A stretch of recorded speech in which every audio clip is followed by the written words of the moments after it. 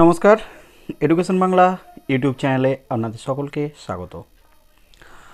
আজ S S কেমএসকে পার্শ্ব শিক্ষক সহ সমগ্র শিক্ষার সমস্ত শিক্ষকরা চরম উৎকণ্ঠায় দিন কাটাচ্ছেন এবং তাদের এই বেতনে সংসার নির্বাহ করতে অতি কষ্টে তারা দিন কাটাচ্ছেন এবং তারা পোহর গুনছেন। ভোটের আগে কবে সরকার তাদের জন্য কিছু ভাববেন?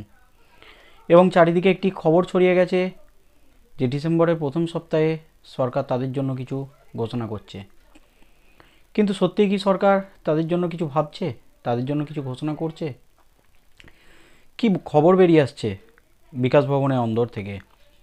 এই সব কিছু আপনাদের জানাব।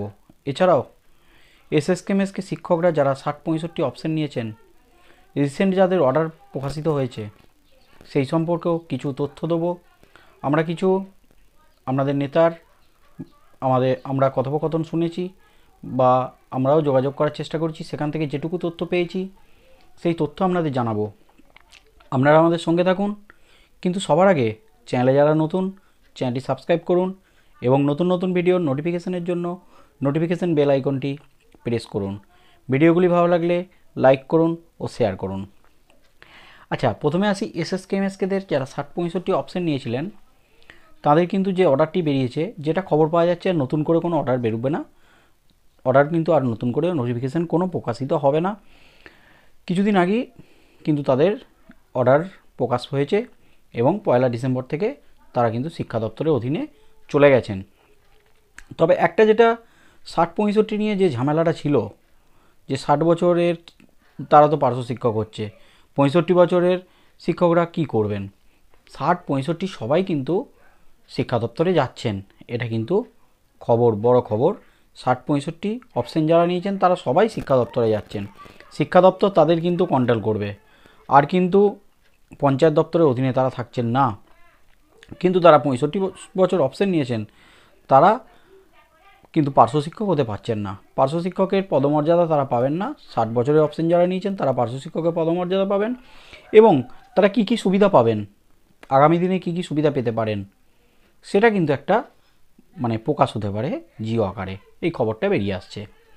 এছাড়াও আরেকটা খবর বেরিয়ে আসছে যে বার্ষরিক থ্রি পার্সেন্ট ইনক্রিমেন্ট এবং তিন লক্ষ টাকা গ্র্যাচুইটির যে ফাইলটা রেডি আছে, সেইটাও কিন্তু খুব তাড়াতাড়ি প্রকাশ হতে পারে। এটাই কিন্তু খবর বেরিয়ে আসছে। আচ্ছা এটা যখন হবে, এই মানে ইনক্রিমেন্ট ও গ্র্যাচুইটি যখন প্রকাশ পাবে, এটা কিন্তু পার্শ্ব শিক্ষক সহ সমগ্র শিক্ষার সমস্ত স্টাফেজের জন্যই কিন্তু প্রকাশ হওয়ার একটা প্রবল সম্ভাবনা রয়েছে। কিন্তু ভাতা বৃদ্ধির কোনো খবর না পাওয়া গেলেও হাওয়ায় যেটা ভাসছে যে ডিসেম্বরের প্রথম সপ্তাহে কি ভাতা বৃদ্ধি হবে এইসব শিক্ষকদের?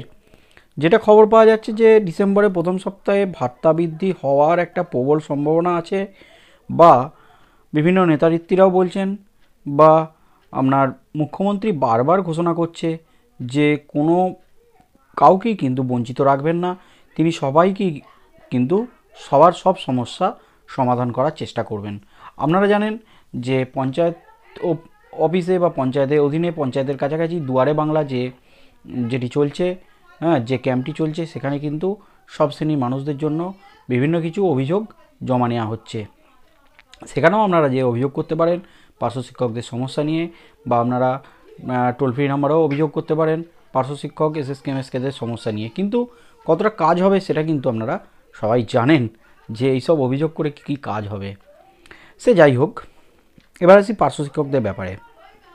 পার্শ্ব শিক্ষকরা আমরা জানেন দু হাজার উনিশ সালে পার্শ্ব শিক্ষকদের যে আন্দোলনের ঢেউ আজরে পড়েছিল কলকাতার বিকাশ ভবনের ফুটপাতে, সেই আন্দোলনের ঢেউয়ের পরিসমাপ্তি ঘটে। সেই আন্দোলনের স্থগিত ঘোষণা করেন শিক্ষামন্ত্রীর আশ্বাসে। শিক্ষামন্ত্রী আশ্বাস দিয়েছিলেন, এক থেকে দেড় মাসের মধ্যে এই সমস্যার সমাধান করবেন তিনি নিজে দায়িত্ব নিয়ে। কিন্তু পার্শ্ব শিক্ষক ঐক্যমঞ্চের নেতৃবৃন্দ, নেতা নেতা নেতৃবৃন্দ তারা শিক্ষামন্ত্রীকে সময় দিয়েছিলেন যে তিন মাস তাদের সময় দিয়েছিলেন শিক্ষামন্ত্রীকে, শিক্ষা দপ্তরকে তিন মাস সময় দিয়েছিল যাতে এই তিন মাসের মধ্যে পার্শ্ব শিক্ষক সমস্যার সমাধান করে। কিন্তু আপনারা সবাই জানেন, তারপর করোনা ভাইরাস থবাবসায় গোটা বিশ্বে এই করোনা মহামারীর ফলে আর কোনো কিছুই কিন্তু কাজ হয়নি। এক বছর কেটে গেছে আন্দোলনের, কিন্তু কোনো কিছুই কাজ হয়নি। শিক্ষামন্ত্রীকে ফোন করেছিলেন ভগীরথ ঘোষ বাবু। শিক্ষামন্ত্রী যেটা বলেছেন যে আপনারা বেতন পাচ্ছেন, এটাই কিন্তু আপনাদের সৌভাগ্যের।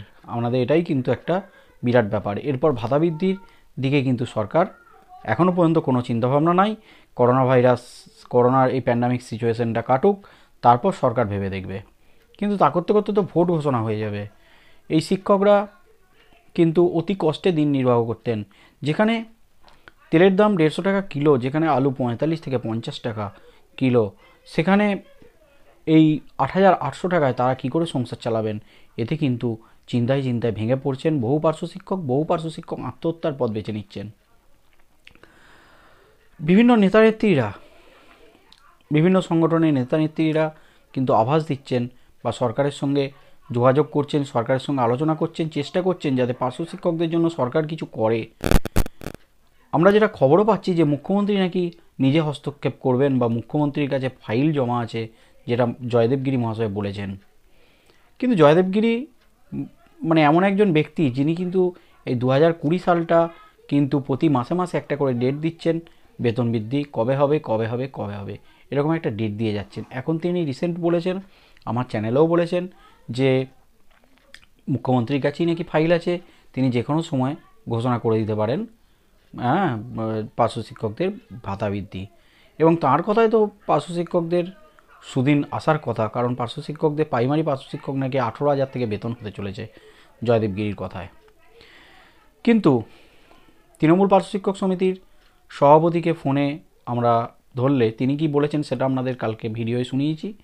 ভিডিওটি না দেখলে আপনারা একটু ভিডিওটি দেখে নেবেন, তাহলেই বুঝতে পারবেন তিনি কি বলেছেন। তাই এই মুহূর্তে মানে আশা করে বসে থাকা ছাড়া কিন্তু কোনো উপায় নেই। পার্শ্ব শিক্ষক সহ এসএসকে, এমএসকে সমস্ত শিক্ষকদের। তবে এটা কিন্তু ঠিক, ভোটের আগে এটা আপনারা পাবেন। থ্রি পার্সেন্ট ইয়ারলি ইনক্রিমেন্ট এবং গ্যাচুইটি তিন লক্ষ টাকা। বাধা বৃদ্ধির এখনও পর্যন্ত কোনো খবর নেই, কিন্তু আপনারা জানেন, এ রাজ্যের মুখ্যমন্ত্রী যখন খুশি, যেদিন খুশি ঘোষণা করতে পারেন। এবং আরও একটা, আপনারা সেটাও জানেন যে আঠেরোই ডিসেম্বর থেকে লাগাতার আন্দোলনের পথে যেতে চলেছে পার্শ্ব শিক্ষকরা। পার্শ্ব শিক্ষক ঐক্যমঞ্চ যে আন্দোলনের ডাক দিয়েছে, আঠেরোই ডিসেম্বর থেকে।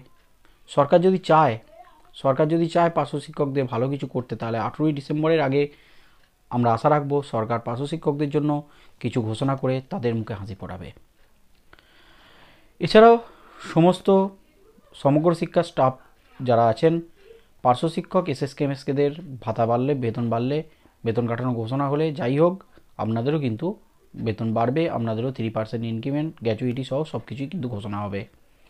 আমরা এইসব খবরের দিকে লক্ষ্য রাখব, কিন্তু আজকের এপিসোড আমি এখানেই শেষ করছি। আপনারা আমাদের সঙ্গে থাকুন, ভিডিওটি, ভিডিওগুলি ভালো লাগলে লাইক করুন ও শেয়ার করুন এবং চ্যানেলে যারা নতুন চ্যানেলটি সাবস্ক্রাইব করুন। এবং নতুন নতুন ভিডিওর নোটিফিকেশানের জন্য নোটিফিকেশান বেল আইকনটি প্রেস করুন। ভালো থাকবেন। ধন্যবাদ।